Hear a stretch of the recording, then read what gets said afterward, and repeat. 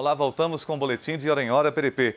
O programa de qualificação profissional tem ajudado a gerar emprego e renda em comunidades carentes. Através de cursos profissionalizantes, mais de 14 mil sergipanos já conseguiram uma vaga no mercado de trabalho. É com esta visão que as 40 alunas cadastradas no Programa Estadual de Qualificação Profissional Novos Rumos começaram os cursos de pintura em tecido e confecção de arranjos florais. Tendo agora essa especialização aqui na nossa comunidade, é bem mais fácil a gente poder é, usar né, dessa, dessa arte para poder ganhar dinheiro. Maria Francilina era aluna e hoje é instrutora. Fiz o curso dentro de 10 dias, tirei meu certificado e hoje em dia fui convidada a ser instrutora. E hoje em dia faço meus arranjos florais. Isso é muito gratificante, porque a gente vê o empenho que a secretaria faz e está sendo correspondido pelos alunos, gerando renda, é, é, formando associações, formando grupos e atendendo ao mercado consumidor. Daqui a pouco eu volto com mais informações aqui no Boletim de Hora em Hora PDP.